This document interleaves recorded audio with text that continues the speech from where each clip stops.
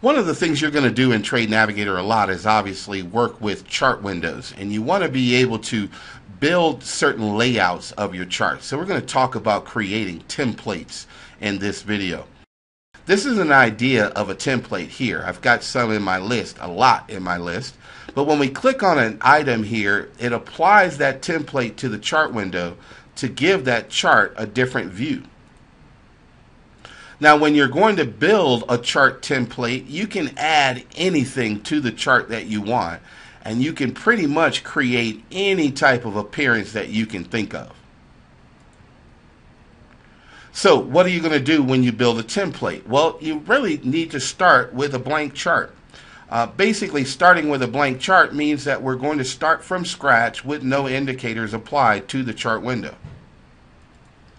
Now once you start off with a blank chart window and you can apply your default template to the chart to get a blank chart or you can go through edit chart settings and remove all of the checks except for price to start with a blank chart.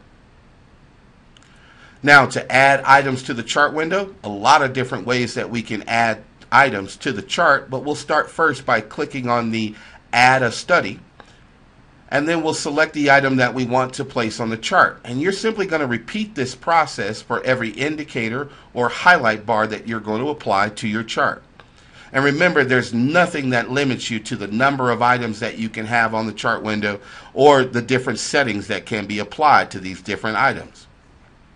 Now, once you get all of the indicators applied to your chart, this could be stochastics again, or Bollinger Bands, moving averages, once you get them all applied to the chart window, you'll then want to go back and make sure that the individual settings that you want to apply have been made, such as maybe changing the moving average values or changing the stochastics values.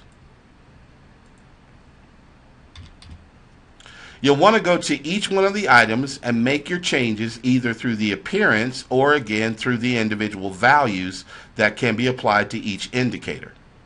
Now, if you would also like to rearrange items, for example, let's say we want volume to be on the very bottom, then we'll highlight pane 2, which is the volume, and we'll either drag it down,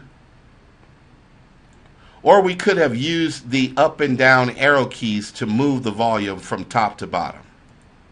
Now, because templates are individual items, we can also create individual templates based off of different time frames, or again, templates that have different indicators applied to them. So again, make sure that you go back, change all of the settings the way that you want them to be set, and then you're ready to create your template. Your template, since we're inside of the Edit Chart Settings window, we can begin saving the template by clicking on the Template button along the bottom of the Edit Chart Settings. Now we're prompted with a couple of different choices here. We can create a, an entirely new template or we can save what we're creating to, to one of the already existing templates. We're going to create a new one, so I'll click the New button. Whatever the name is obviously should reflect what's on the template, so make sure you create a good naming convention so you can find your templates faster. Once you've named the template, click OK, and that template now will show up in the list of templates. To make this one of the templates I use most frequently, I'll even move it up the list so I have faster access to that template whenever I need it. All templates are going to be made with the same process, but now when we're ready to apply that template to a chart window, we'll simply locate our chart, select templates, choose our template from the list. If you'll also notice there are numbers next to the templates that are listed here 0 through 9 so we can even apply our template by pressing the number on the keyboard.